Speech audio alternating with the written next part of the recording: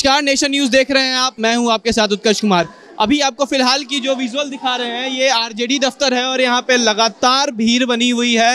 हालाँकि हमने आपको सुबह भी दिखाया था वह भीड़ से अभी ज़्यादा दुगना है। आपको बता दें कि जो लगातार है, यहाँ पे जो सीट हैं, बताए जा रहे हैं, जो अभी तक की मतगणना हुई, उस हिसाब से 104 सीट हैं, वो आरजेडी के तरफ़ है, महागठबंधन को मिल रहे हैं और 117 से ऊपर एनडीए को मिल रहे हैं। अब देखना ये होगा कि इस बार किसकी सरकार बनती है? क्या नीतीश कुमार का एक अन्य मार्ग खाली होता है?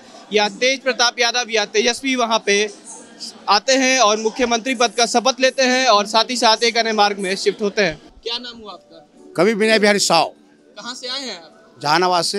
जहानाबाद से आए हैं। ये जो आपका अभी जो पहने हुए हैं आप लालटेन लगाए हुए हैं बैनर लगाए हुए हैं ये क्या संकेत दे रहा है? ये लूर लक्षण बाई मरले पर जाए। अच्छा। ये हमारा लूर लक्षण है। अच्छा। हम लालटेन मैं हूँ लालटेन मैं हम हैं।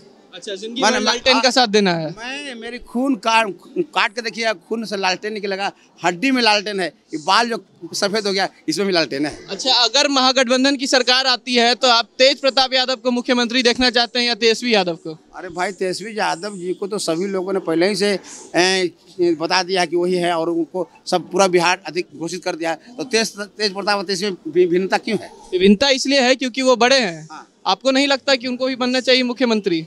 तेज प्रताप ने खुद कह दिया है कि ये- मेरा कृष्ण है और ये हम ये अर्जुन है और मैं कृष्ण हूँ। यही रन में रहेगा। हम आए करते हैं। तेज प्रताप खुद किया है। जो आप वस्त्र पहने वहाँ लिखा हुआ है स्वर्गीय मुंद्रिका सिंह यादव अमर रहे कर्पूरी ठाकुर अमर रहे। हाँ। आप सुबह लगभग 11 बजे से आपको यहाँ देखा जा रहा है 9 बजे से आए हुए हैं और लगातार आप में वही जुनून है। हाँ। आप आज रात तक यहीं रुकेंगे? जब तक जीत नहीं हो जाएगी। विनय बिहारी से टिक नहीं पाएगा। आप एकदम निश्चिंत हैं कि आपकी सरकार बनेगी? ठीक हो जाएगा। मैं निश्चिंत नहीं हूँ। मुझे मुझको दिख रहा है। हमारे पिताजी गुजर गए। उन्होंने कहा था कि बेटा चलाक आदमी का चार आँख होता है साधारण आदमी का दो आँख होता है। और जो स्वार्थी होते हैं बेवकूफ़ होते हैं और जो कर, कर्मठ नहीं होते कायर कोढ़िया देहचोर होते हैं अमुजोर होते हैं उनके पास आँख रहता है लेकिन देख नहीं पाते हैं। हमको चार आँख है। हम दो आँख से सबको देख रहे हैं और दो आँख से जीत का मसल देख रहे हैं कि कैसे जीत तो मतलब इस बार डबल इंजन की सरकार जाएगी। डबल इंजन की सरकार जाएगी नहीं तो क्या है? एक और घींच रहा इधर एक को खींचा इधर। एक एक दो गो भाई है। दो गो भाई है। आ एगो पजामा है। वो क्या करता है कि एगो फीसता है एगो पहन के स्कूल जाता है और फिर क्या करता है? फिर एगो आता है और फिर एगो पहन जाता है। पजामा एक एगो है और भैया दो एगो है। तो भैया को भैया या तो दो गो पजामा करो ना तो एगो भाई हो जाओ। यही तो करना है। तो जो लोग हैं वो काफ़ी संतुष्ट है उनको लगता है कि महागठबंधन की सरकार बनेगी और इस बार बन के रहेगी आइए कुछ और लोग हैं उनसे जानते हैं कि वो क्या कह रहे हैं। क्या नाम हुआ आपका? लाखपति झा। अच्छा कहाँ से आए हैं आप? हम तो पटना जिला से हैं।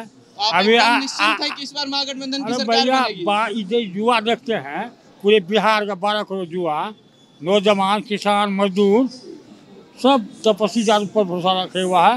रोज़गार देंगे। पहला कलम में कलम चलेगा रोज़गार के लिए।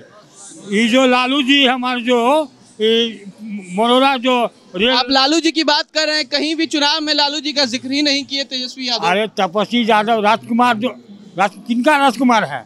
लालू जी आपसे पूछ रहे हैं कि जब ज़िक्र ही नहीं है तो फिर कहाँ से आए अरे भैया राजा का बेटा राजा नहीं होगा। बारह करोड़ युवा जो है ना उनको एकदम भारी मत से जीता रहा। अभी तो अढ़ाई लाख वोट गिनती हुआ। तो इस बार दस लाख नौकरी तय है। तय है। तय है। सारे युवा को दस लाख नौकरी मिलेगा।